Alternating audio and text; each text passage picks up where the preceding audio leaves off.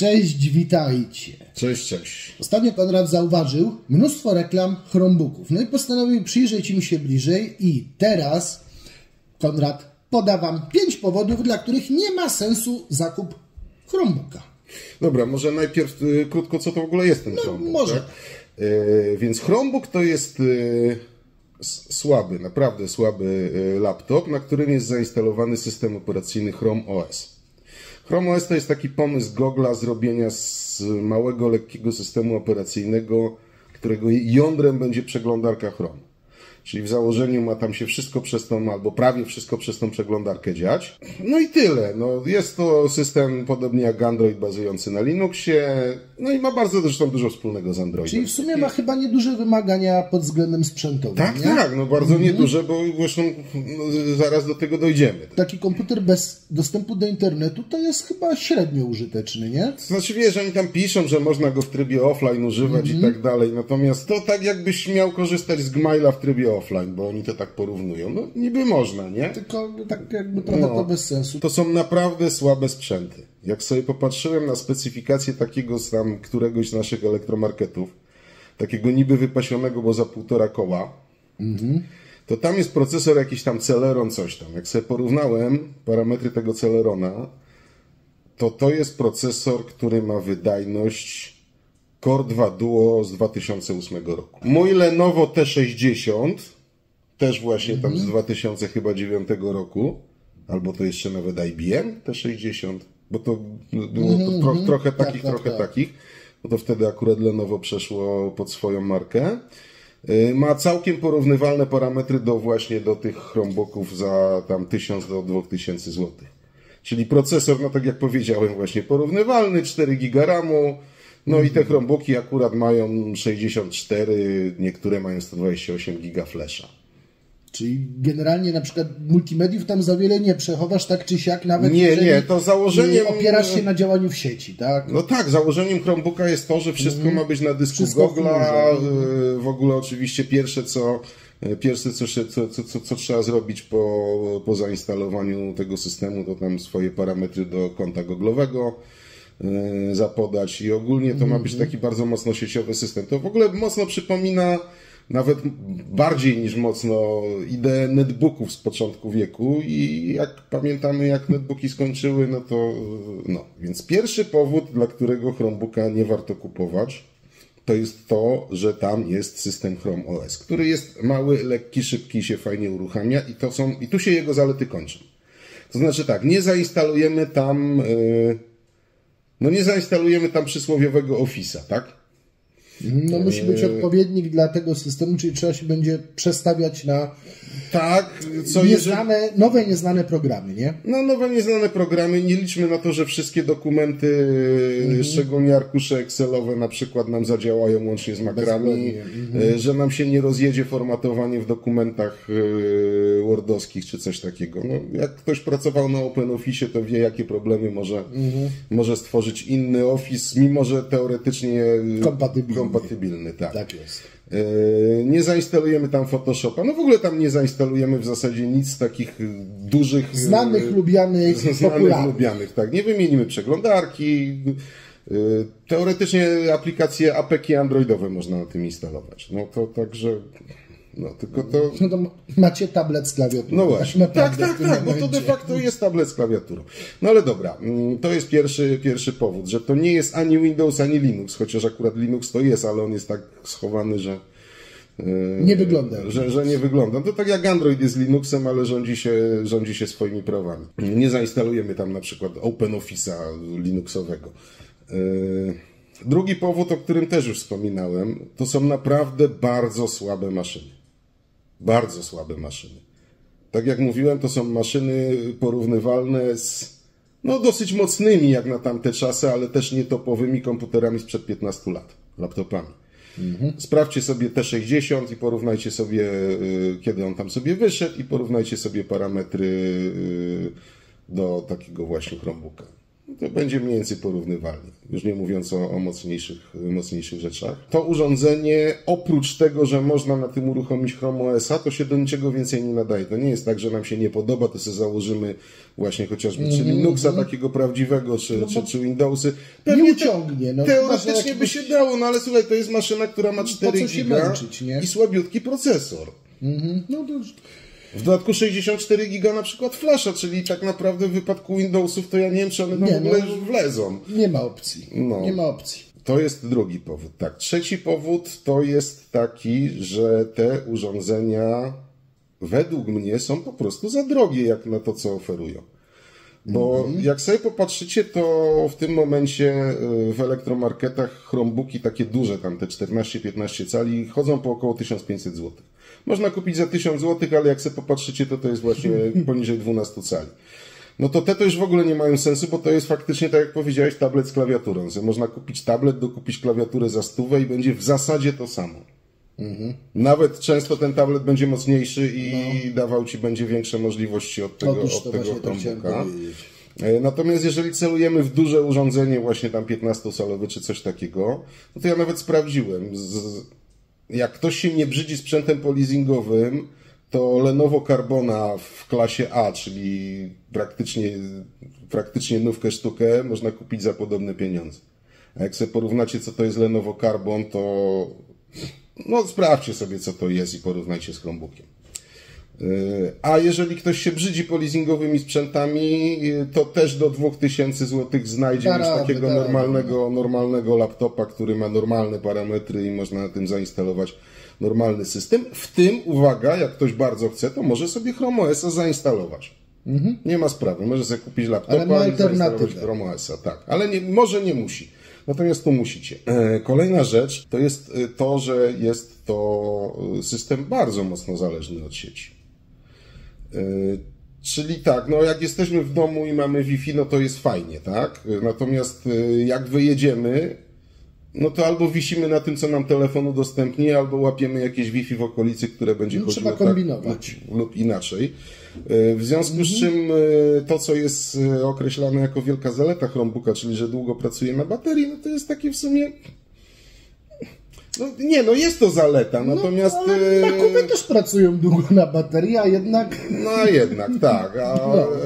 a poza tym, no właśnie, no bo praca na baterii długa jest fajna, jak możemy to zabrać, nie wiem, do pociągu, Mhm. na wyjazd i tak dalej. No, okazuje się, że Chromebooka no, możemy zabrać do pociągu, tylko się okaże, że jak tam nie będzie w tym pociągu Wi-Fi, to, to słabo, tak? No nawet jak jest to, to kolejowe Wi-Fi, To kolejowe jest działa takie, jak działa. jakie jest. A jak się no. okaże, że wszystkie dokumenty mamy, na, mamy w chmurze Google'a Mhm. mm, i ewentualnie możemy pracować w tym trybie offline, no dobra, okej. No można, ale to kupując zwykły laptop No dokładnie, macie możliwość mamy- pracy offline bez żadnych wyrzeczeń, bez kombinowania i A z dysku Google też możecie skorzystać Dokładnie. po prostu tylko wtedy, kiedy jak potrzebujecie, możecie, a nie jak musicie, złapiecie tak? sieć.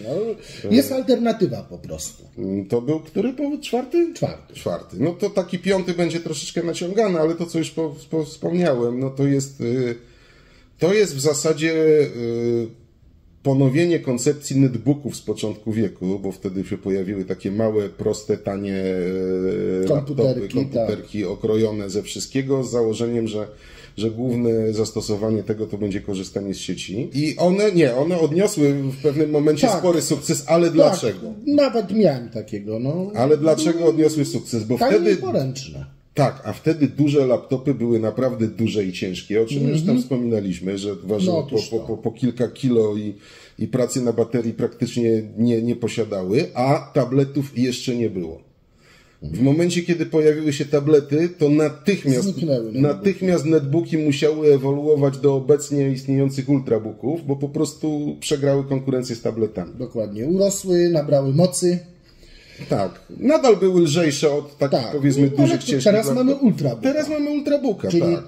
laptopa w wersji powiedzmy light, ale niekoniecznie słabszego parametrami, no bo często te ultrabooki również są dopasione Tak, pod one, korek, tyle że są one nie mają na przykład napędu, nie Tak. mają takich rzeczy, No tak? to, to teraz napęd używa, ale no, No wtedy, wtedy, Wtedy tak. wtedy urządzenie bez CD mniej to było... gniazd mogą mieć. No, tego typu rzeczy, mniejszy rozmiar niekiedy mają, no bo dwunastki No czasem. mniejsze, 13, dwunastki, no. czternastki, tak. To nie są wielkie Ale siedemnastki. takie prawdziwe, klasyczne netbooki, jak to kiedyś były na Atomie, to już Nie ma. zniknęły, no. Nie ma. Swoją drogą e, na Atomie nie da się Chrome OS-a postawić. To, to, to jest też ciekawostka. Tak. Jakby komuś przyszło do głowy przerobienie netbooka na Chromebooka. Tak, to, to jeszcze powiem na, na, na koniec, bo Ch- Chrome OS, już nie tyle Chromebook, co Chrome OS, ale dobra, może skończmy myśl, bo trochę, e, trochę pływamy, tak? I zobacz, netbooki startowały, w, próbując się wbić w tą samą niszę, w którą w tej Tak. chwili wchodzą Chromebooki. I wbiły się tylko dlatego, że ta nisza była pusta. A teraz nie jest, bo No ultrabooki są cały czas, e, a z drugiej strony są tablety. Więc y, powiem tak, jak ktoś potrzebuje y, komputera do poważnej pracy, to se kupi ultrabooka, bo Chromebook mu nie wystarczy. A jak ktoś nie potrzebuje komputera do poważnej pracy, to mu tablet wystarczy. Dokładnie. A ewentualnie właśnie z klawiaturą, tak jak powiedziałem. Tak, a jeszcze trzeba dodać, że no, zmieniła się jakby też przystępność tych urządzeń. Mm, powiedzmy takie w miarę przyzwoite laptopy już nie kosztują abstrakcyjnych pieniędzy jak kiedyś, tylko no, są Tak, no przystępniejsze, no, dostępniejsze po prostu nawet tym- dla gorzej zarabiających ludzi. No. Tak, poza tym jest, y, są naprawdę fajne sprzęty polizingowe w niezłym stanie, które można Mhm. kupić, które też y, grają na rynku. Nie było tego 15 No tak, lat temu. Bywały, ale rzadko. i Bywały mało. i to, i to były na zasadzie na Allegro, sobie tam mogłeś Tak, kupić. te ceny coś też takiego. były mało, mało atrakcyjne, a teraz jakby Tak, i jak się zepsuł, to radź Tak. se sam, natomiast w tej chwili można po leasingowca kupić nawet oryginalnie czasami zapakowanego, Mhm. e, z gwarancją w sklepie stacjonarnym, gdzie po prostu możemy sobie go obejrzeć, pomacać, Dokładnie. sprawdzić i tak jak mówię, możemy dokupić na przykład nawet dwuletnią gwarancję do niego. No dobra, no to jest pięć powodów, także ten piąty, tak jak mówię, trochę naciągany, ale, No, nie, ale- nie, nie widzę przyszłości. E, O ile netbooki istniały tylko do momentu, kiedy nie zostały zniszczone z jednej strony przez tablety, z drugiej strony przez ultrabooki, tak tutaj Chromebooki startują w środowisku, gdzie i ultrabooki, i tablety istnieją, więc słabo no to i, widzę. i zupełnie inne warunki też y, cenowo-kosztowo dostępnościowe są. Na koniec, żeby tak nie zniechęcać. Można sobie Chroma założyć na, y, na normalnym komputerze. Przy czym tak, oni reklamują, że to może być ratunek dla starego laptopa, tak? Że masz starego laptopa, który ci muli, nie chodzi, zainstaluj sobie Ch- Chrome OS-a i fajnie będzie, tak? Może tak, tylko że y, tak jak już wspomniałem, na atomach nie chodzi, na 32-bitowych procesorach nie chodzi, czyli to nie może być aż tak bardzo stary laptop. To musi być laptop, który jest, obsługuje 64-bitowy system i nie jest atomem. No, czyli urządzenie w miarę mimo wszystko jednak aktualne, które może już nie daje sobie rady z Windowsem po prostu. No, coś takiego. Natomiast jeżeli ktoś chce spróbować, yy, no bo mówię, no to, że ja tego nie kupię, To nie znaczy, że- to nie znaczy, że komuś to nie będzie Dokładnie. pasowało. Zresztą może się zdarzyć sytuacja, że faktycznie ktoś nie potrzebuje ultrabooka, a tablet jest dla niego za słaby, no to może dla niego akurat Chromebook jest jakąś tam ofertą, ale zanim się zdecyduje na wydanie nie tak w sumie małych pieniędzy, to może sobie wypróbuje tego, ten system, bo można go sobie zainstalować. Można go sobie co więcej zainstalować w maszynie wirtualnej. Y, Także nie trzeba nawet w ogóle nic, nic tam y, reinstalować, ani nic takiego. I niech sobie spróbuje przez parę dni nad tym popracować. Tak, się a zastanowić, wtedy- czy, czy to jest to, y, o co mu chodzi. Tak? I tylko niech pomyśli, że to nie ma obok tego prawdziwego systemu i i nie to, że dobra, nie da się zrobić, to, to się przełączę na Windowsy czy Linuxa i se zrobię. To po prostu nie ma, tak? Nie ma powrotu jakby. Także mm, mam nadzieję, że troszeczkę Wam podpowiedzieliśmy. Gdybyście rozważali zakup Chromebooka, to wiecie już, y, co przemawia przeciwko temu zakupowi, a co ewentualnie może przemawiać na jego korzyść. No tych drugich tak niedużo jest, No nie? tak, niemniej, tak jak Konrad powiedział, warto spróbować samemu, zanim się wyda pieniądze. Znaczy dla usprawiedliwienia tego, że jednak są rzeczy, które przemawiają za tym, no Chrome OS jest za darmo. Więc faktycznie, jeżeli na przykład mamy laptopa, który był zainstalowany z Windowsem, nie wiem, XP, tak, do którego nie ma supportu już od dawna i chcemy go nadal używać, a ma akurat obsługę tych 64 bitów, No to można możemy tego Chrome OS-a na tym zainstalować i poużywać. Także jako ratunek dla starych, dla starych Zawsze urządzeń. coś. Czemu nie? Lepiej mieć niż nie mieć. Natomiast kupować z tym nowe urządzenie, które tak jak mówię, no sprzętowo jest na poziomie mm, T-15, tak? Komputerów z 2008-2009 roku. No trzeba się dwa, trzy, cztery razy zastanowić, a najlepiej pięć razy. Tak jak pięć powodów, żeby tego nie robić w ogóle. No kolejna zaleta, niewątpliwie zaleta, chociaż nie wiem, czy aż taka duża y, Chrome OS, to jest to, że on naprawdę szybko wstaje. Ten system szybko wstaje, tylko że w momencie, kiedy laptopy się na ogół usypia, a nie wyłącza, to czy to jest z kolei taka jakaś Przestaje być zaleta? jakby taka krytyczna, ale jednak zawsze jest. Zawsze jest, tak. Także teraz nie pozostaje nam nic innego, jak na razie zakończyć temat Chromebooków. No oczywiście, jeżeli macie jakieś doświadczenia z Chrome OS-em, Chromebookami, piszcie w komentarzach, bo to na pewno pomoże innym oglądającym w podjęciu decyzji, a my zapraszamy na nasze kolejne filmy. A ja obiecuję, że jak znajdę jakiegoś takiego właśnie starego, ale 64-bitowego To laptopa, to se zainstaluję i, I za jakiś czas powiem, e, powiem coś więcej już jako, jako człowiek używający tego Na przez jakiś czas. Na razie takie, takie trochę pierwsze wrażenie, no bo się pojawiło reklam tego Mhm. dużo i to uważałem, że warto po prostu przestrzec. Przyjrzeć się tego. To w takim razie co? Dzięki za oglądanie Dzięki i szczęśliwego i do zobaczenia.